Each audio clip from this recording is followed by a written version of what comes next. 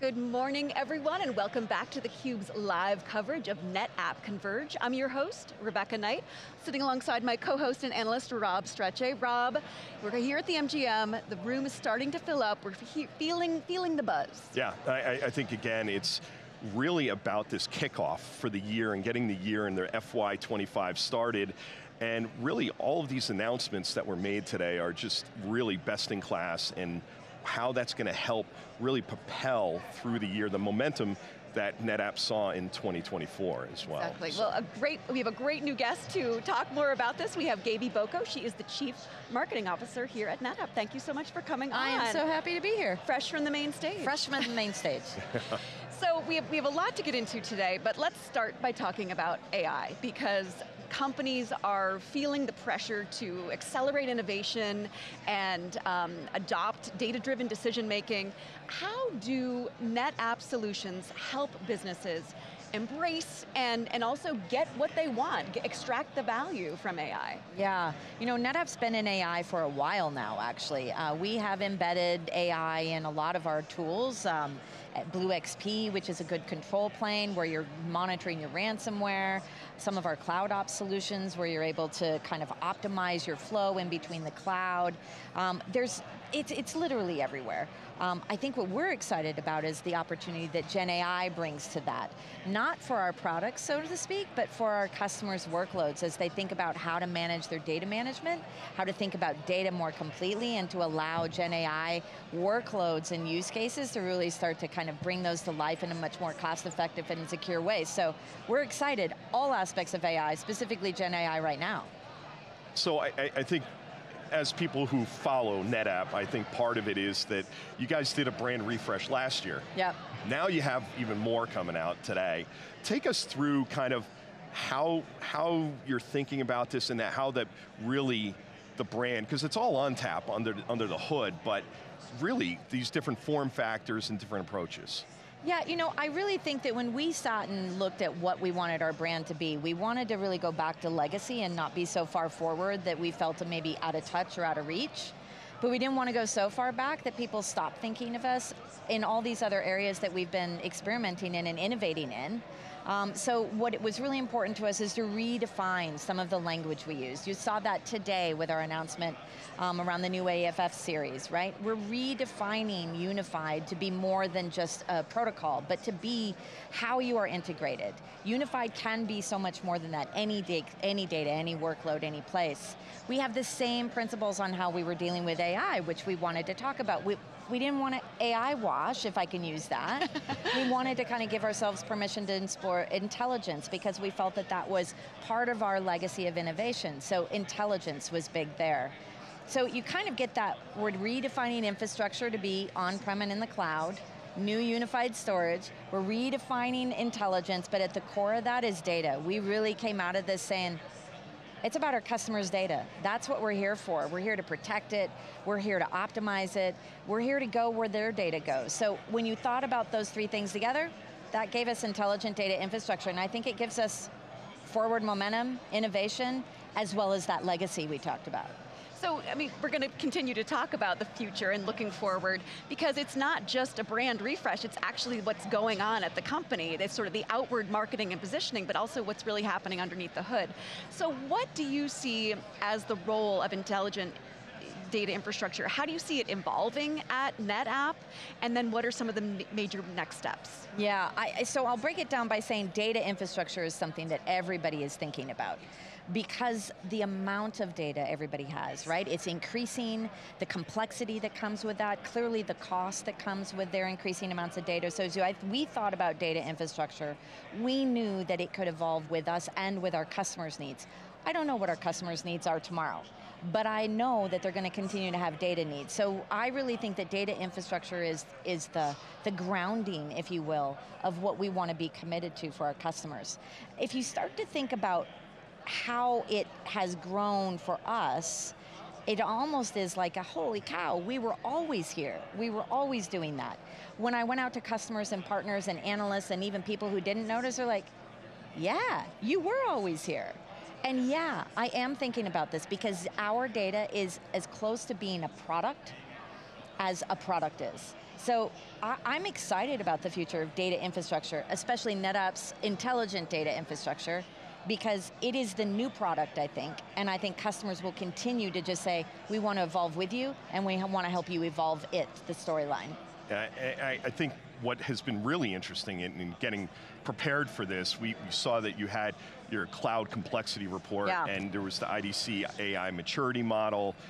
You know, we do our own research, but we think that like again, looking at everybody's, because all these data points are really pointing in very interesting directions, mm -hmm. and mm-hmm. I, I, think for the customers.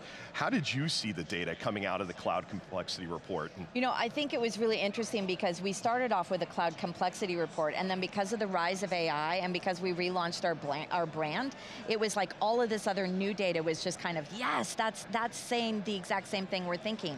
I think the AI components were super interesting because people were linking their progression, um, whether they were a data laggard with being an AI laggard. And I think that that is what is really telling in that cloud complexity report, right? As you think about where your data is going, you have to think about what tools are you going to use for that. Are you going to use, continue to use the cloud? Do you need to optimize that with AI? And so what I love about us doing surveys and data profiles like that is if we really are committed to data, then showcasing and telling that story with data is the best thing because our customers, uh, clearly some analysts too, coming back to us and saying, this is cool, we love this. Give us more data and we'll be better partners with you. So I like, kind of like that that yeah, Rob. Yeah, I mean, I, I, again, I went through it, it was like 37 pages long or something, which I thought was fantastic yeah. because there's so much good data in there, like you said, around AI, not just cloud complexity. And we, we kind of look at it from a research perspective is cloud is an operating model, yep. not a place. And I think ONTAP definitely that's ONTAP. I mean, Thousand percent. It's all over the place. Edge, it's core, it's on-prem, it's in the cloud at the hyperscalers, and even with the partners like you have here that do colo. I, one of the things I thought was really interesting in there was also, was like some of the things where like sustainability took a step down, but people were also saying, here's where I'm stealing budget from, from an AI perspective. It wasn't about the data, the data still was where they were investing. How did you see, and how do you see the partners really leaning into this that are here today and really taking that and saying, hey, this is how we're going to move forward? Yeah, I think that the most important part of any good company is their ecosystem, and, and clearly our ecosystem, we've tried to broaden it. It's, it's, we've got strong partners, partners who are able to build the kinds of workloads and use cases that customers are going to need. We have a strong alliance network of, of integrations that are deep into our ONTAP into our ONTAP base. And then we have those hyperscalers you talked about, where again, it's like it's built in. I like that term built in because when you think about the entirety of that ecosystem, what you're really seeing is we're not just going and doing point solution or separate solution bolt-ons. We are literally building that functionality into every single one of their environments, every single one of our environments, so that they can be successful. And that's really where our partners are starting to, to lean and say, I want to build this workload, this use case. I was just over here the other day with WWT who showcased, we did this with ONTAP, this with your AFF, and this with, I can't remember what else, it was really loud. But they, they said, this is a workload that we're running on NetApp and we couldn't do that without you. So I think about intelligent data infrastructure as that ecosystem. It's bolstered by that ecosystem. And it is built in so that everybody in that ecosystem can really bring the advantages to the data for the customers. Otherwise, we're just a pile of bolt-ons and that's, nobody wants that, right? So I love that our ecosystem is happy. Yeah, and, and I think even in those announcements that you had today, it had wide ranging for data protection and cyber resilience, and I, like you said, built in, right? Built, not mm -hmm. built on, not sidecar, not things like that. Do you see that as really one of the strengths and, you know, really things that you're leaning, I mean, George was talking about it even just a minute ago. It's, it seems to be one of the strengths that everybody's trying to copy in the market around NetApp is, hey, it's built in versus built on. And, you know, again, some are more successful than others about doing that, but nobody's been as successful as NetApp in that. I, I think it's a key to our success, absolutely. I think uh, a lot of people engineer a platform by saying, I'm going to build a platform. And then it's about building the platform and then maybe fixing or applying disparate acquisitions or products and trying to make that fit your perfect base. Uh, what I love about NetApp is that we built all of these things even though they were built separately, we knew that they needed to be integrated and built in. All of the functionality needed to be there. So it's almost like we've been building this very intricate, accessible data platform for over a decade, and now it's just kind of like, when our competitors see this, like, oh, maybe we should have done it that way, which I love, right? Because that's really what we are.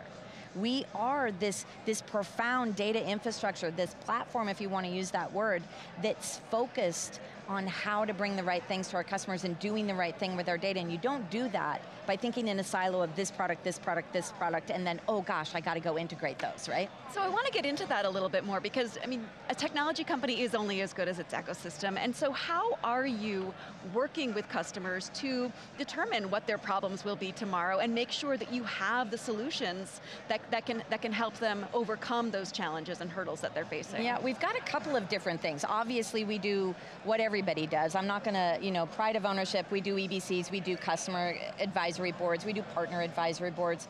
But I think what we really like about our approach is that it's constant, right? When we're in the trial stage or we're in the alpha or beta stage, it's not the first time the customers are seeing it. Quite frankly, it's because a customer asked for it. It's because a partner said, I'm at a customer, I need an X.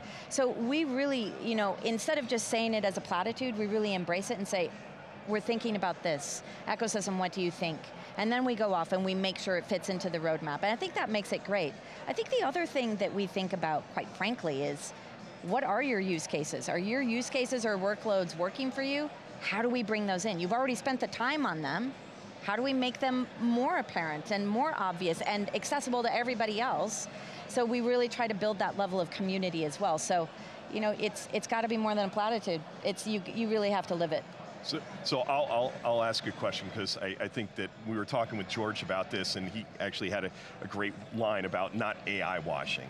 Now you're in marketing, and how hard was it to not try to AI wash everything? That was actually I mean, her line. I'm, uh, good, I'm just well, going was, to it is correct the record. True. Yeah, okay. It was Gabie's line. Yeah, okay. well, but I mean, how hard is it to not? Because there's so much noise out in the market, and everybody's like, I mean, even some of the stuff George was talking about with metadata and things like that, there's a lot of things you can lean into yeah. and a lot of technology there.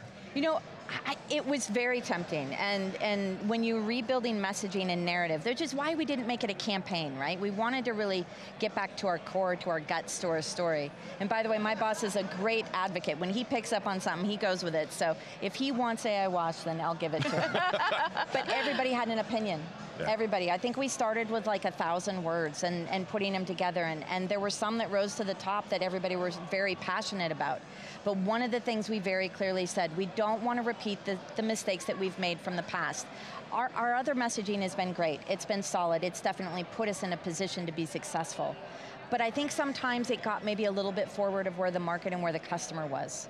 Um, when we talked about data fabric, data fabric is really smart and it's still embedded in what we do but we got a little too far forward on our skis. Same with cloud. We embrace cloud. We embraced it before all of our competitors did, but we got a little too far forward and our customers were like, we're not there yet. So I think we were really focused on saying, this story has to be true to us and we need words that signify we know that this is going in the market, but we don't want to be like everybody else who has now put AI or .ai or something in their, in their narrative we already know we've been here for a decade. We already know where we're going. Let's just be confident in the story that we're going to tell. And if we are embedding AI in, um, in kind of how we talk about it and building products, they'll pick up on it and they'll appreciate the fact that we didn't wash it. Gabie, how do you describe your overarching strategy as the CMO of NetApp in terms of how you, you're driven to solidify your position in this very competitive market? Yeah, oh wow, um, very, very competitive. I respect all of my fellow CMOs. They are, they are very, very um, hard acts to, to compete with. However, I do believe that what makes us strong is by being focused and prioritized. Um, that brand narrative has been the basis of how we think about doing demand. How obviously here today and for the next couple of days, how we're training our salespeople. The less messages that come at them, the less kind of things that you're, you're throwing at them, the more compelling you can actually be. So my strategy is really less, is quite honestly more. Um, and, and I want to get the less right. I want it to be resonant and I want to make sure that everybody in the company who are my best brand ambassadors can feel that empowered and, and that, that compelling when they go tell that story. It's true with accessorizing, it's true with data infrastructure. So Less is more. Thank you so much, Gabie. A, a, real pleasure having you on theCUBE. Thanks for having me. Thank you. I'm Rebecca Knight for Rob Strechay. Stay tuned for more of theCUBE's live coverage of NetApp Converge. You're watching theCUBE, the leader in technology enterprise coverage.